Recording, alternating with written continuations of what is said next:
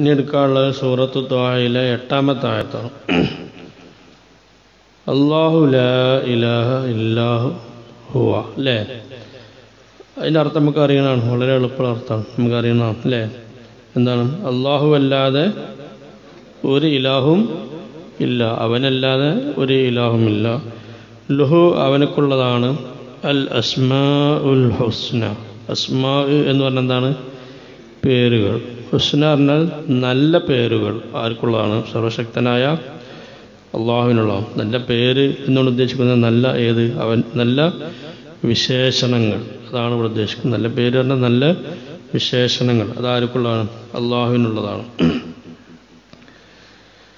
നമ്മളെ മുമ്പ് ഇതിന്റെ മുമ്പ് സൂറത്തുൽ അഹ്റാഫിൽ അസ്മാവിസിനെ കുറിച്ചൊക്കെ എന്ത് ചെയ്തിട്ടുണ്ട്? ധാരാളം വിശദീകരിച്ചിട്ടുണ്ട്. ഇത് ആളുകൾ നബ്സല്ലാ അലൈഹി സ്വലമ ചില പ്രാർത്ഥനയിൽ യാ റഹ്മാൻ യാ റഹീം എന്നൊക്കെ നീം ചെയ്യും റസൂല്ലാഹി സ്വല്ലാ വസ്ലമ ദ്വാരിക്കുമ്പോൾ ചിലപ്പോൾ അങ്ങനെ വിളിക്കും. യാ റഹ്മാൻ യാ റഹീം എന്നൊക്കെ വിളിക്കും. അപ്പോൾ ചില മുസ്ലിക്കുകളൊക്കെ എന്ത് ചെയ്തു? അത് തമാശയായി കണ്ടു. ഒരു കളിയാക്കി. മുഹമ്മദ് ഒരു റബ്ബ് മതി പറഞ്ഞിട്ടിപ്പോൾ ആ അപ്പോൾ റഹ്മാനും റഹീമും പലരും വിളിക്കൽ തുടങ്ങി എന്ന് ആര് പറഞ്ഞു? മുസ്ലിക്കുകളെ ആളുകൾ പറയാ പറയ പറയുണ്ടായി. അപ്പോൾ അള്ളാഹു താല പറയാണ് ഒക്കെ അള്ളാഹുവിന്റെ നല്ല നല്ല വിശേഷങ്ങൾ. ഇപ്പോൾ വിളിക്കുന്നത് ആരെയാണ്? സർവശക്തനെ അള്ളാഹു ഏകനായ അള്ളാഹുവിനെ മാത്രമാണ്. അപ്പോൾ അള്ളാഹു ഒക്കെ അള്ളാഹുവിന്റെ നല്ല നല്ല പേരുകളാണ്. അള്ളാഹു ലാ ഇലാഹ ഇല്ലാഹു അവനല്ലാതെ ഒരു ഇലാഹുമില്ല. ലഹുൽ അസ്മാ ഉൽ ഹുസ്ന. ഇങ്ങനത്തെ നല്ല നല്ല പേരുകൾ ആർക്കുള്ളതാണ്? അല്ലെങ്കിൽ നല്ല നല്ല വിശേഷണങ്ങൾ ആർക്കുള്ളതാണ്? അള്ളാഹുവിനുള്ളതാണ്. ചില മഹാന്മാർ ഇമാം തഫ്സീർ കബീറിൽ കാണാം. ഇമ്മ അള്ളാഹു താലാക്ക് ശരിക്ക് ഫുൾ വിശേഷം നമുക്കറിയില്ല. നമ്മളിപ്പോൾ തൊണ്ണൂറ്റൊമ്പത് പേരുകളെ കുറിച്ച് നമ്മൾ അതന്നെ ഫുള്ള് നമുക്ക് മനസ്സിലാക്കിയിട്ടില്ല. ഓരോ പേരും അള്ളാഹുവിന്റെ ഓരോ വിശേഷണങ്ങളാണ്. തൃശ്ശൂരിൽ കബീറിൽ കാണാം അള്ളാഹുവിന് നാലായിരം പേരുകളുണ്ട് എന്നാണ് നാലായിരം പേരുകൾ ആർക്കുണ്ട്? അള്ളാഹു താലാക്കുണ്ട്. അതിൽ മൂവായിരം പേരുകളെക്കുറിച്ചുള്ള വിവരങ്ങൾ ആർക്കും അറിയില്ല. അള്ളാഹുവിനും അവന്റെ അമ്പിയ മുർസലിങ്ങൾക്കല്ലാതെ വേറെ ആൾക്കും ആ പേരുകളും ആ പേരുകളുടെ സിറുകളും ആർക്കും അറിയില്ല. ഒരാളുകൾക്കും അറിയില്ല. അതിൽ ആയിരം പേരുകളിലുള്ളത് പിന്നീട് മുന്നൂറ മുന്നൂറ്റി ചില്ലാം തൗറാത്തിലുണ്ട്. അതിൽ മുന്നൂറ്റി ചില്ലാം പിന്നെ ഇഞ്ചിയിലുണ്ട്. അതിൽ മുന്നൂറോളം പേരുകൾ ജബൂറിലുണ്ട് അത് പിന്നെ അള്ളാഹു താല അറിയിച്ചു കൊടുത്തിട്ടുണ്ട്. തൗറാത്തിൽ ഇഞ്ചിയിൽ സബൂറിലൊക്കെ മുന്നൂറ്റി പേരുകളുണ്ട് എന്ന് അള്ളാഹുവിനുമായി ബന്ധപ്പെട്ട ആ പേരുകളൊക്കെ ഓരോ വിശേഷം. അതിനൊക്കെ ആ ആ പേരുകൾക്കനുസരിച്ച് അള്ളാഹു താല അർഹനാണ് അവന്റെ വിശേഷണങ്ങൾ മനസ്സിലായില്ലേ? അതിൽ നൂറ്റി ചില്ല നൂറ് തൊണ്ണൂറ്റി ഒമ്പത് പേര് നൂറ് നൂറ് പേരുകൾ അള്ളാഹു താല ഖുർആാനിൽ പരാമർശിച്ചിട്ടുണ്ട്. തൊണ്ണൂറ്റി ഒമ്പതെണ്ണം വളരെ വ്യക്തമാണ്. ഒന്ന് വളരെ ഏതാണ് രഹസ്യമാണ് എന്നുള്ളതാണ്. അത് ഒരു മനുഷ്യൻ. അതാണ് നിംസലാസ്ലം പറഞ്ഞ ആ നൂറ് പേരുകൾ അല്ല തൊണ്ണൂറ്റൊമ്പത് പേരുകൾ ഒരു മനുഷ്യൻ പഠിച്ചാൽ ഹിഫലാക്കിയാൽ അവൻ ദഹലൽ ചെന്ന അവനവിടെ പഠിക്കും അവനവിടെ പ്രവേശിക്കും സ്വർഗത്തിൽ കടക്കും. അപ്പോൾ അത് മനപ്പാടാക്കുക എന്ന് ചിലർ പറഞ്ഞിട്ടുണ്ട്. ചിലർ ഹിഫലാക്കുക എന്ന് പറഞ്ഞു കഴിഞ്ഞാൽ ആ പേരിന്റെ അർത്ഥങ്ങൾ ഉൾക്കൊണ്ട് അള്ളാഹുവിനെ മനസ്സിലാക്കുക എന്നുള്ളതാണ്. പേര് മാത്രം പഠിക്കുക എന്നുള്ളതല്ല ആ ഒരു പേരിലും അള്ളാഹുവിന്റെ ഓരോ സിറുകളുണ്ട്. അതും കൂടി പഠിക്കാൻ നോക്കിയാൽ വളരെ ഉഷാറായി. അത് ഉൾക്കൊള്ളാം. അള്ളാഹു തന്നെ ആഫിയാക്കി തന്മാറാകട്ടെ. അപ്പോൾ അള്ളാഹു താല അള്ളാഹിനെ കുറിച്ച് അങ്ങനെ അതുകൊണ്ടാണ് ഇവിടെ ഇറങ്ങാൻ കാരണം മുശരിക്കങ്ങളായ ആളുകൾ. അപ്പോൾ തൊണ്ണൂറ്റൊമ്പത് അസ്മാവുകൾ അത് ചിലവർക്കൊക്കെ കാണാതെ അറിയും അല്ലേ? കേട്ടിട്ടില്ലേ? അസ്മാവുൽ ഹുസ്ന പറഞ്ഞിട്ട് ഇപ്പം എല്ലായിടത്തുണ്ട്. ആളുകൾ ഇപ്പോൾ ആൾക്ക് വിൽക്കുന്നുണ്ട് അല്ലേ? ചെറിയ പേപ്പറായിട്ട് പത്ത് റുപ്യൊക്കെ ഇങ്ങനെ ചിലത്തൊക്കെ വിൽക്കാൻ കിട്ടുന്നുണ്ട്. പുസ്തകങ്ങൾ കിതാബുകളൊക്കെ ഉണ്ട്. ആ പേര് മാത്രം പഠിക്കുക എന്നുള്ള അർത്ഥത്തിലല്ല ആ പേര് അതിന്റെ ഓരോ കാര്യങ്ങളും സാരങ്ങളും എന്ത് ചെയ്യുക ഉൾക്കൊണ്ട് അള്ളാഹുവിന്റെ മാത്രം മനസ്സിലാക്കും കൂടി വേണം. അപ്പോഴാണ് ശരിക്ക് എന്താ ഹിഫുള്ള എന്നുള്ളത്. കാണാ പഠിക്കാൻ മാത്രമല്ല അതിന്റെ അർത്ഥങ്ങളൊക്കെ കിട്ടും. ആ അർത്ഥങ്ങൾ കിട്ടിയിട്ട് ഓരോ പേരിന്റെയും ഓരോ വിശാല അള്ളാഹുവിന്റെ വിശേഷണങ്ങളുണ്ട്. ഇപ്പോൾ റഹ്മാൻ റഹീം അതൊക്കെ നമുക്കറിയാതാണ് കബീർ അസീസ് ഇതിലൊക്കെ എന്തുണ്ട്? അള്ളാഹുവിന്റെ ഓരോ ഓരോ എന്തുണ്ട് വലിയ വലിയ വിശേഷങ്ങളൊക്കെ എടുക്കുന്നുണ്ട്. അതും കൂടി മനസ്സിലാക്കുമ്പോൾ പരിപൂർണമാവും ഇനി നോക്കാം. അള്ളാഹു തല പുതിയ വിഷയത്തിലേക്ക് തുടങ്ങുകയാണ്. ഇതുവരെ അള്ളാഹു തല അള്ളാഹിനെ കുറിച്ച് ആമുഖം പറഞ്ഞതാണ്. ഇനി നോക്കുക. വഹൽ അത്താക്ക ഹദീസ് മൂസ. വഹൽ അത്താക്ക നബിയെ നിങ്ങൾക്ക് എത്തിയിട്ടുണ്ടോ? എത്തിയിട്ടില്ലേ? അങ്ങനാകാം നിങ്ങൾക്ക് കിട്ടിയിട്ടില്ലേ? ഹദീസ് മൂസ. ഹദീസ് എന്താണ്?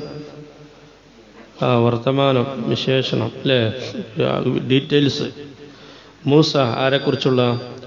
ആ മൂസ നബി അലൈഹി ഇസ്ലാമിനെ കുറിച്ചുള്ള വിശേഷണങ്ങൾ അദ്ദേഹത്തിന്റെ ചരിത്രം അദ്ദേഹത്തിന്റെ വർത്തമാനങ്ങൾ അദ്ദേഹത്തിന്റെ മറ്റുള്ള ഡീറ്റെയിൽസ്. നബി നിങ്ങൾക്ക് വന്നിട്ടില്ലേ? നിങ്ങൾക്ക് കിട്ടിയിട്ടില്ലേ? അള്ളാഹുത്തല ചോദിക്കണം ചിലപ്പോൾ നബി സല്ലല്ലാഹു അലൈഹി അറിഞ്ഞിട്ട് ആ വിഷയത്തെ ഉറപ്പിക്കലാകാം. അല്ലെങ്കിൽ നബി സല്ലല്ലാഹു അലൈഹി വസല്ലമക്ക് വ്യക്തമായ അറിവ് ആ വിഷയത്തെക്കുറിച്ച് അതുവരെ കിട്ടിയിട്ടുണ്ടാവില്ല. കാരണം സൂറത്ത് തുടക്ക സൂറത്താണ്. അപ്പോൾ അള്ളാഹുത്താൽ എന്ത് ചെയ്യുക അമുഖ അങ്ങനെ മൂസാ നബി അലൈഹി സ്വലം എന്ന പ്രവാചകനെക്കുറിച്ചുള്ള ഫുൾ അറിവ് നിങ്ങൾക്കില്ല നബിയെ. എന്നിട്ട് അള്ളാഹുത്താല പറഞ്ഞു കൊടുക്കുന്നതുമാകാം. അല്ലേ? കാരണം അത് തുടക്ക സൂറത്തായാലും മൂസാ നബി അലൈഹി സ്വലാമിനെ കുറിച്ച് എന്ത് ചെയ്യണം? അള്ളാഹുത്താല പറഞ്ഞു കൊടുക്കണം. ആർക്ക്? റസൂലുള്ളാഹി സല്ലാഹു അലൈഹി വസല്ലമക്ക്. ഇവിടെ അള്ളാഹു താല പറയുന്നത് മൂസാ നബി അലൈഹി സ്വലാമിന്റെ ചരിത്രം ശ്രദ്ധിക്കുക. അദ്ദേഹത്തിന് വഹീന്റെ തുടക്കം അള്ളാഹു താല മൂസാ നബി അലി ഇസ്ലാമുമായി സംസാരിച്ച സംസാരങ്ങൾ അതെല്ലാം. അതൊക്കെ ഏതിന്റെ ശേഷം അവിടമുള്ള വിഷയങ്ങളാണ് ഇവിടെ അള്ളാഹു താല ഇപ്പോൾ പറഞ്ഞു തുടങ്ങുന്നത്. അതിന്റെ മുമ്പ് മുസാഫിസിന്റെ ചരിത്രം വേറെ ഉണ്ട് അദ്ദേഹം വിവാഹം കഴിച്ചു. വിവാഹം കഴിച്ചത് ആരെയാണ് ഒരു പ്രവാചകന്റെ മകളെയാണ്. ആരാണ്? മാനാ ഷുഹൈബ് നബി ഇസ്ലാമിന്റെ മകളെ വിവാഹം കഴിച്ചു. അപ്പോൾ അവിടെ മഹറായിട്ട് നിശ്ചയിച്ചത് പറഞ്ഞത് എന്താണ്? ആ എട്ട് കൊല്ലം നിങ്ങൾ എന്ത് ഇവിടെ? ഇവിടെ ആട് നോക്കി ഹൃദമത്ത് ചെയ്യുക നിങ്ങൾക്ക് ബുദ്ധിമുട്ടില്ലെങ്കിൽ പത്ത് കൊല്ലാക്കിയാലും കുഴപ്പമില്ല എന്നാണ് പറഞ്ഞത്. എട്ട് കൊല്ലം ഏതായാലും വേണം. പറ്റൂലെങ്കിൽ പറ്റുമെങ്കിൽ എന്ത് ചെയ്യുക? പത്ത് കൊല്ലവും ആക്കാം എന്ന് പറയണ്ടായി അങ്ങനെ അതൊക്കെ കഴിഞ്ഞ് ഭാര്യയുമായി ബന്ധം ഭാര്യയുമായി ബന്ധപ്പെട്ട് ആ ഇടപാട് കഴിഞ്ഞ് അവിടുന്ന് ഭാര്യയും ഭാര്യയും കുടുംബത്തെയും കൂട്ടി മൂസാ നബി അലൈഹി ഇസ്ലാം മിസറിലേക്ക് മടങ്ങണം. കുറേ കാലമായി മിസറിൽ നിന്ന് നാട് വിട്ടിട്ട് അന്ന് ഒരാളെ കൊന്നതിന്റെ പേരിൽ ഫിറോവനുമായി ഇല്ലേ? പ്രശ്നം ഉണ്ടാവുമെന്ന് വിചാരിച്ച് അവിടുന്ന് രക്ഷപ്പെട്ടതാണ് ആര്? മുസാ നബി അലി ഇസ്ലാം പിന്നീട് കുറേ കാലങ്ങൾക്ക് ശേഷം മുസാ നബി അലി ഇസ്ലാം ഷുഹൈബ് അലി ഇസ്ലാമിന്റെ അവിടുത്തെ സേവനം കഴിഞ്ഞ് നേരെ മിസറിലേക്ക് എന്ത് ചെയ്യണം? തിരിച്ച് പോകുമ്പോഴാണ് അദ്ദേഹത്തിന് ഇതുണ്ടായത്. വഹി ഉണ്ടായത് അപ്പോൾ രാത്രിയിലാണ് അദ്ദേഹം സഞ്ചരിച്ചു കൊണ്ടിരുന്നത് പകൽ സഞ്ചരിക്കാൻ തിരിക്കാനുള്ള പല കാരണമുണ്ട്. ഒന്ന് ഷാമിലെ ഭരണാധികാരി അന്ന് വളരെ മോശമായിരുന്നു. മൂപ്പര് ശ്രദ്ധയിൽ പെടാതിരിക്കാനും ഒക്കെ രാത്രി സമയത്ത് വളരെ രഹസ്യമായിട്ട് തന്നെയാണ് മുസാ നബി ഇസ്ലാം പോകുന്നത്. അപ്പോൾ ആ സമയത്ത് വളരെ കൂരാ കൂരിരുട്ടാണ് ഒന്ന് രണ്ടാമത് വളരെ കഠിനമായ ഏതാണ് തണുപ്പുള്ള സമയമാണ്. ആ സമയത്ത് മുസാ നബി ഇസ്ലാം പോയ അവിടുന്ന് ഉണ്ടായ ചരിത്രങ്ങളാണ് അള്ളാഹു തലയുടെ പറഞ്ഞു വരുന്നത്. അള്ളാഹു തല ചോദിക്കാൻ മൂസ? നബിയെ നിങ്ങൾക്ക് എത്തിയിട്ടില്ലേ? ഹദീസു മൂസ മൂസ നബി അലി ഇസ്ലാമിന്റെ വർത്തമാനം നിങ്ങൾക്ക് എത്തിയിട്ടില്ലേ?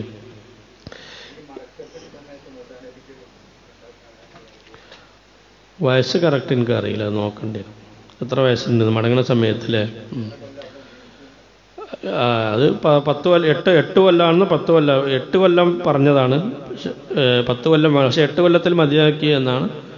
എട്ട് പത്തിന്റെ ഇടയിലാണ് ആ സമയം മൂസാ നബി വസ്ലാം അവിടെ ചെലവഴിച്ചത് ഇത് ഇത് നാറൻ. മുസാ നബി അലൈഹി സ്വലാം കണ്ടപ്പോൾ എന്തിനെ കണ്ടപ്പോൾ? നാറൻ. നാറ് എന്താണ്? തീനെ കണ്ടപ്പോൾ. ഫക്കാല ലി അഹ്ലിഹി. ഫക്കാല അദ്ദേഹം പറഞ്ഞു ലി അഹ്ലിഹി. അദ്ദേഹത്തിന്റെ കുടുംബത്തിനോട് പറഞ്ഞു ഉം കുസു നിങ്ങളിവിടെ ആ നിങ്ങളിവിടെ നിൽക്കുകയും നിങ്ങളിവിടെ മക്കസാറ ശരിക്കും താമസിക്കാം നിങ്ങളിവിടെ എന്ത് അവിടെ? എല്ലാം ഇവിടെ നിൽക്കുകയും. ഇനി ആനസ്തു നാറൻ തീർച്ചയായിട്ടും ഞാൻ എന്ത് ചെയ്തിട്ടുണ്ട് ഞാൻ കണ്ടിട്ടുണ്ട് നാറൻ എന്തിനെ കണ്ടിട്ടുണ്ട്? തീനെ കണ്ടിട്ടുണ്ട്.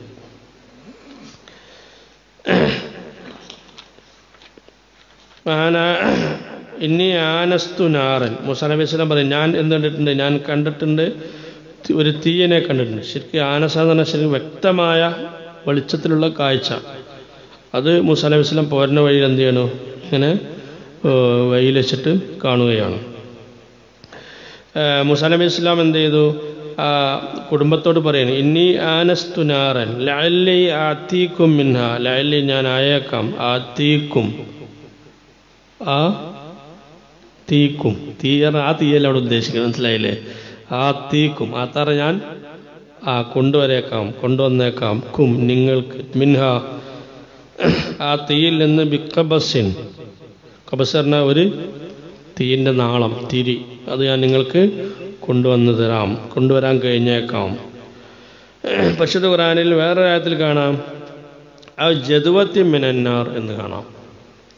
വേറെ സുഹൃത്തിൽ വിശദീകരിക്കുന്നത് തീയിൽ നിന്നുള്ള ഒരു ജോല ഞാൻ നിങ്ങൾക്ക് കൊണ്ടുവന്നേക്കാം. വേറെ ആയത്തിൽ കാണാം അത് പറയുന്നത് ലാലക്കും തസ്തലൂൻ തസ്തലൂൻ. നിങ്ങൾക്ക് വേറെ ആയത്തിൽ കാണാം.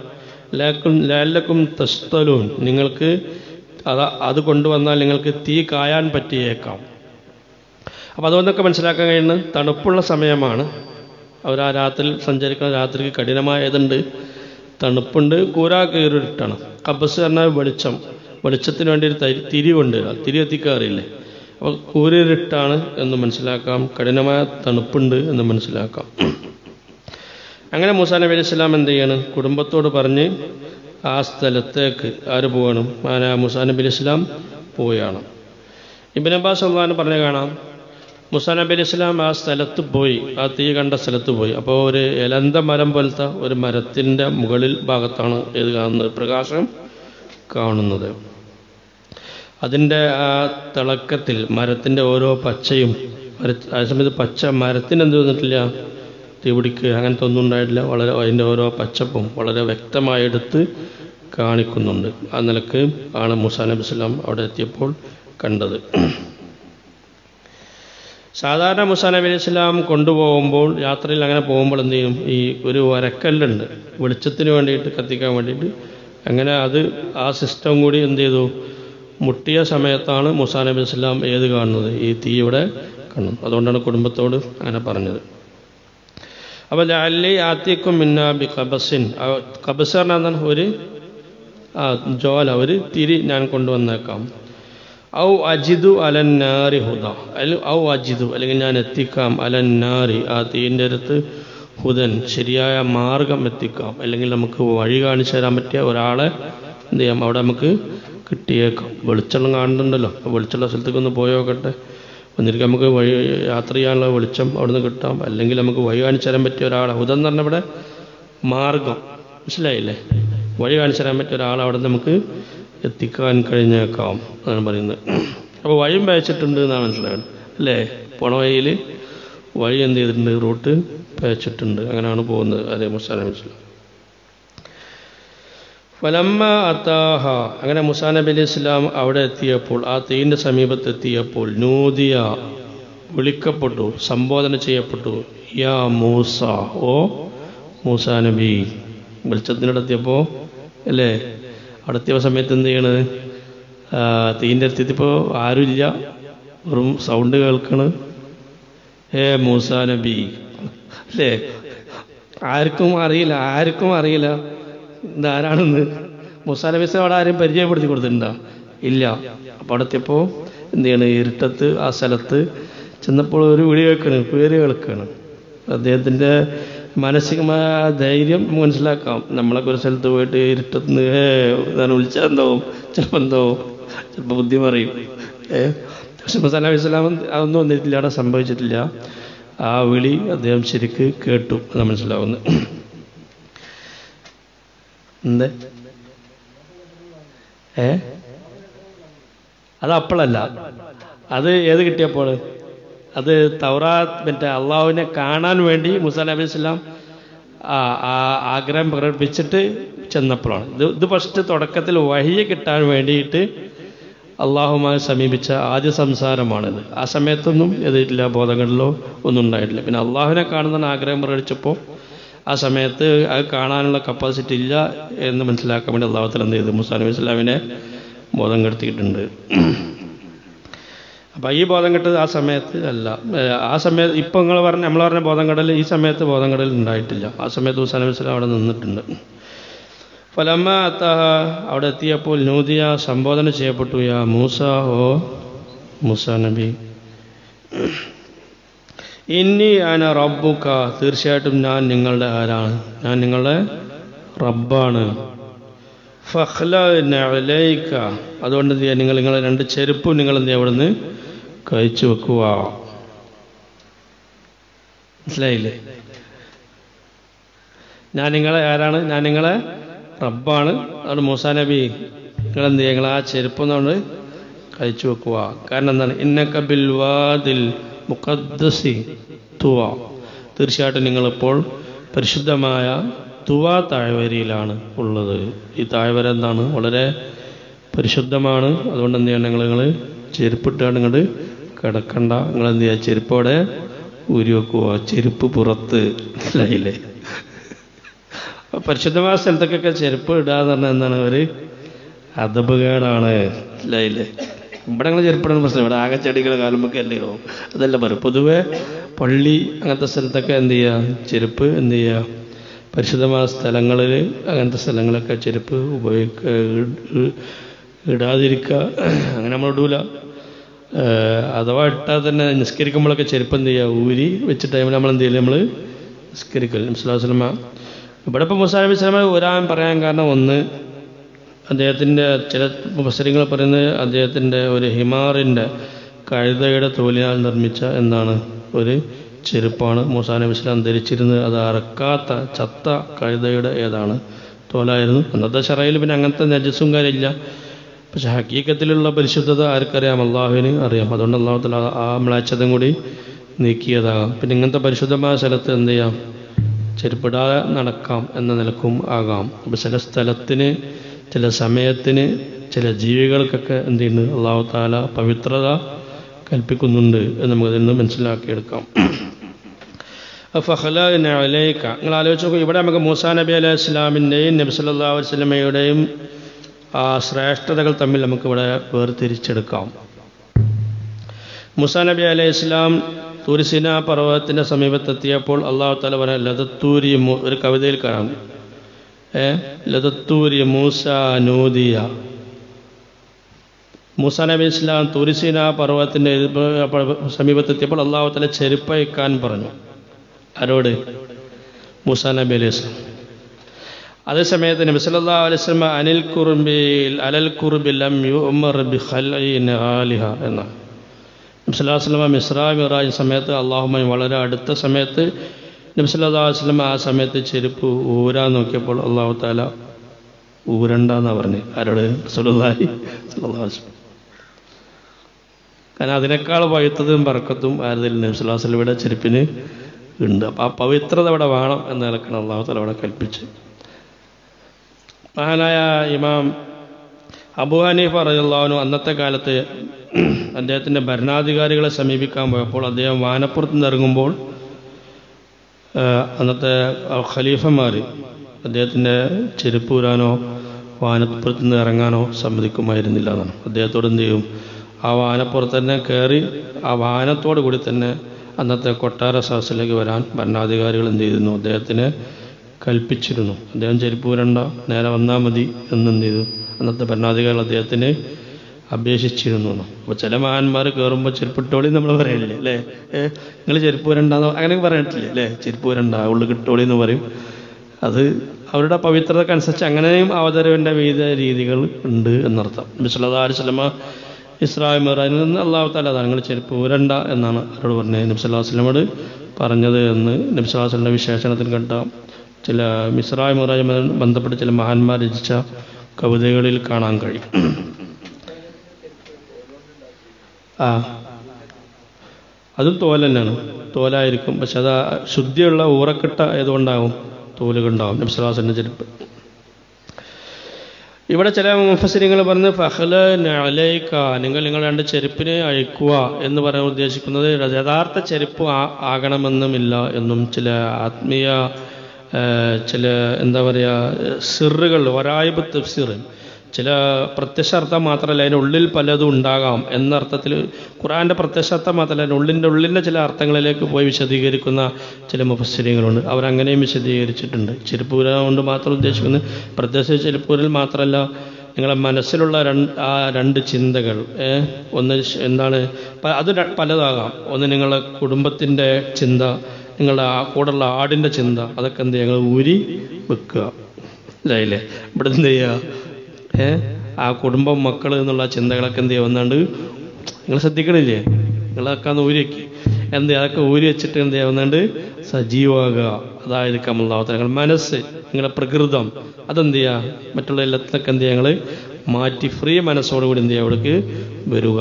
അതാകാം അള്ളാഹത്തർ ഉദ്ദേശിക്കും. അല്ലെങ്കിൽ ദുന്യാവും ആഹ്റവും ഈ രണ്ട് ചെരുപ്പങ്ങളും എന്ത് ഞങ്ങൾ ഊരിയേക്കുക ദുന്യാവ് ഊരിയേക്കുക ഏത് ഊരിയേക്കുക ആഹ്റം രേഖ അത് രണ്ടും മനസ്സിൽ നിന്ന് മാറ്റി അള്ളാഹു എന്ന അവസ്ഥയിലേക്ക് നിങ്ങൾ മനസ്സിലെന്ത് ഞങ്ങൾ പാകപ്പെടുത്തുക. സർവശക്തനെ അള്ളാഹുവിന്റെ മുമ്പിലാണ് നിങ്ങൾ സംസാരിക്കാണ് വരുന്നത്. നിങ്ങൾ അപ്പോഴും സ്വർഗവും നിങ്ങൾ ദുന്യാവിന്റെ ജീവി ഏർപ്പാടുകളോ അല്ലെങ്കിൽ നിങ്ങളെ ദുന്യാവിമായ നിങ്ങളെ ഭാര്യകൾ അല്ലെ ഭാര്യമാർ ഭാര്യ അതേപോലെ നിങ്ങളെ നിങ്ങളുടെ ആടുകൾ അനുയായികൾ അതൊക്കെ മാറ്റുക ആഹ്റത്തിന്റെ ചിന്തയെ ഒഴിവാക്കുക. നിങ്ങൾ എന്ത് ചെയ്യുക? അള്ളാഹു എന്നുള്ള ചിന്തയിലേക്ക് വരിക.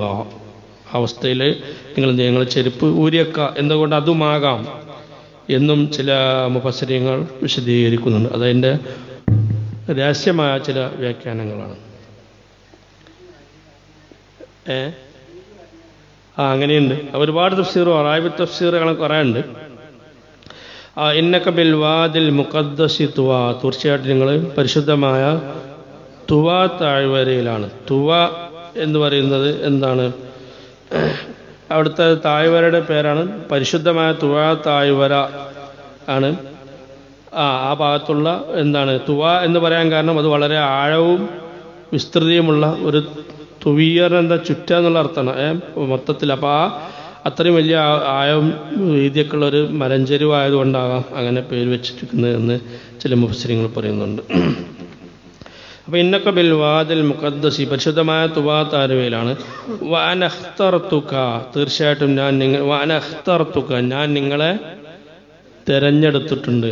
ഫസ്തമിഅ ലിമായൂഹ ശ്രദ്ധിക്കണം.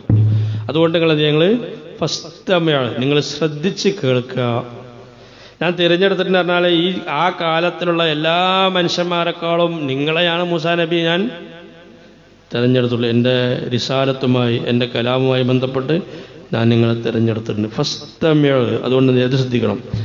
ഫസ്തമിഴ അതുകൊണ്ട് നിങ്ങൾ ശ്രദ്ധിച്ച് കേൾക്കുക. ലിമായൂഹ നിങ്ങളിലേക്ക് വഹി നൽകപ്പെടുന്ന നിങ്ങൾ നിങ്ങൾ ശ്രദ്ധിച്ച് കേൾക്കുക. നിങ്ങൾ ആലോചിച്ചൊക്കെ മൂസാ നബി അലി ഇസ്ലാമിനോട് തന്നെ അള്ളാഹു താല അവിടെ പറഞ്ഞപ്പോൾ എന്താ? ശ്രദ്ധിച്ച് കേൾക്കുക എന്നുള്ളതാണ് അല്ലേ? ഇത് പറഞ്ഞപ്പോൾ മുസാൻ നബി അലി ഇസ്ലാം എന്ത് ചെയ്തു? അപ്പൊ ഒരു എൽമിന്റെ സദസ്സിൽ ഇപ്പൊ കുറച്ച് ആൾക്കാരൊക്കെ ചെന്ന് സജീവമായിക്കാറും അല്ലേ? ഉറങ്ങാതെ എന്ത് ചെയ്യുക സജീവമായിരുന്ന് ശ്രദ്ധിച്ച് കേൾക്കുക എന്നുള്ളത് അതിന്റെ ഏറ്റവും വലിയ ഏതാണ്? ഒരു അദബാണ്.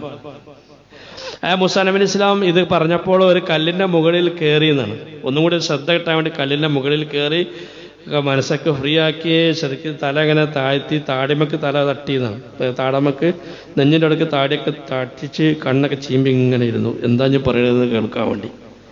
അത്രയും ആ ശ്രദ്ധ ജാഗ്രത പിന്നെ അതിൽ ആര് കൊടുത്തു?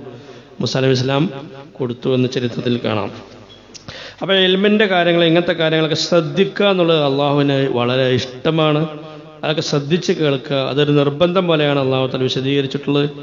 പരിശുദ്ധ ഖുറാനിൽ കാണാം അല്ലദീന സൂറത്ത് സുമറിലെ പതിനെട്ടാമത്തെ ആയത്തിൽ കാണാം അല്ലദീന ഇസ്തമി വൽ കൗല അവർ അള്ളാഹുമായി ബന്ധപ്പെട്ട ഈ വാക്കിനെ ശ്രദ്ധിച്ച് കേൾക്കുന്നവരാണ്. ഫയത്തബിയവന അസന അതിൽ നല്ലതിനെ അവർ പിൻപറ്റുകയും ചെയ്യും. ഉലായിക്കല്ലദീന ഹദാഹുമുല്ലാഹ്. അവരാണ് അള്ളാഹു താല സന്മാർഗം നൽകിയവർ. അവർ അള്ളാഹുവിന്റെ മാർഗങ്ങൾ നിന്റെ മാർഗങ്ങളൊക്കെ നിങ്ങൾ ശ്രദ്ധിച്ച് കേൾക്കുന്നവരാണ്. അതേസമയത്ത് മോശമായ കാര്യങ്ങൾ ശ്രദ്ധിച്ച് കേൾക്കുന്ന ആൾക്കാരുണ്ട്. അതിനെ തല മോശമാക്കിയിട്ടുണ്ട്. പരിശുദ്ധരാന്റെ വേറെ ആയത്തിൽ കാണാം നബി അവർ ശ്രദ്ധിച്ച് കേൾക്കണമൊക്കെ എനിക്ക് നന്നായിട്ട് അറിയാം. അപ്പം നല്ല കാര്യത്തിലാണ് ശ്രദ്ധ കൊടുക്കേണ്ടത്. അല്ല മോശ കാര്യങ്ങൾ ചിലപ്പോൾ ശ്രദ്ധിച്ച് വളരെ ആത്മാർത്ഥമായി കേൾക്കുന്നത് എന്തില്ല പുണ്യം ഇല്ല. പൊതുവെ അള്ളാഹു താല അള്ളാഹുമായി ബന്ധപ്പെട്ട കാര്യങ്ങൾ ശ്രദ്ധിച്ച് കേൾക്കാനാണ് അള്ളാഹു താല വിശദീകരിക്കുന്നത്. പരിശുദ്ധ വൈദാ ഖുർആൻ ഫസ്തമയോലോ ഖുർആനെ ഓതപ്പെട്ട് കേട്ടാൽ നിങ്ങൾ നിങ്ങൾ ശ്രദ്ധിച്ച് കേൾക്കണം. വാൻസിത്തു നിങ്ങൾ എന്ത് അടങ്ങി നിൽക്കണം? ലാലക്കും തുറഹമോൻ നിങ്ങൾക്ക് ചിലപ്പോൾ എന്ത് ചെയ്യാം? അള്ളാഹുവിന്റെ റഹമത്ത് വന്നേക്കാം. അത് നിങ്ങൾ എന്ത് ചെയ്യുക അത് കിട്ടാൻ വേണ്ടി റഹമത്ത് കിട്ടാൻ വേണ്ടി ഖുർആൻ പാരായണം ചെയ്യണ കേൾക്കുമ്പോൾ അല്ലെങ്കിൽ ഖുർആനുമായി ബന്ധപ്പെട്ട് വിശദീകരണം കേൾക്കുമ്പോൾ നിങ്ങൾ ശ്രദ്ധിച്ച് കേൾക്കുക എന്ന് കാണാം. അപ്പോൾ ശ്രദ്ധിച്ച് കേൾക്കണതിന്റെ അടയാളമാണ് എന്ത് ചെയ്യുക? അവയവങ്ങളൊക്കെ എന്ത് ചെയ്യുക? വേറെ ഷൂവിൽ നിന്ന് എന്ത് ചെയ്യുക? മാറ്റി നിൽക്കുക. പിന്നെന്ത് ചെയ്യുക അടങ്ങി നിൽക്കുക. അതേപോലെ എന്തെങ്കിലും വിവരങ്ങൾ കേൾക്കുമ്പോൾ അത് ഇൻഷാല്ല ഞാൻ പരമാവധി ചെയ്യാൻ നോക്കണം എന്നുള്ള ഒരു തീരുമാനം മനസ്സിൽ കൊണ്ടുവരിക. ഇതൊക്കെ ശ്രദ്ധിച്ച് കേൾക്കുന്നതിന്റെ എന്താണ് രീതികളാണ്. അപ്പോൾ ആ മാന്മാർ പറയുന്നത് എന്താണ്? മാന സുഫിയാനു ബിൻ സുഫിയാൻ ബിൻ ഒയ്യനാർ ഇതാണ് പറയുന്നത് എൽമിന്റെ തുടക്കം എന്ന് പറയുന്നത് ഇസ്തിമാണ് ശ്രദ്ധിച്ച് കേൾക്കുക എന്നുള്ള ആദ്യം എന്ത് ചെയ്യുക പറഞ്ഞ കാര്യങ്ങൾ ശ്രദ്ധിച്ച് കേൾക്കുക സുമ്മൽ ഫഹമ്. പിന്നെന്ത് ചെയ്യുക പിന്നെ അതിനെക്കുറിച്ച് ചിന്തിക്കുക. സുമ്മൽ ഹെഫലു പിന്നെ ആ പറഞ്ഞ കാര്യങ്ങൾ മനപ്പാടാക്കാൻ പറ്റുന്നതാണെങ്കിൽ മനസ്സിലെന്ത് ചെയ്യുക സൂക്ഷിക്കുക. സുമ്മൽ അമലു. പിന്നെന്ത് ചെയ്യുക അമൽ.